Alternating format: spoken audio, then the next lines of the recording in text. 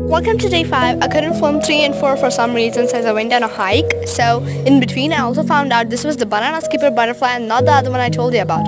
I'm still in confusion, tell me in the comments. So in between I went on a hike where I found all these beautiful butterflies which I'm going to be telling you about in the further videos. Bye bye.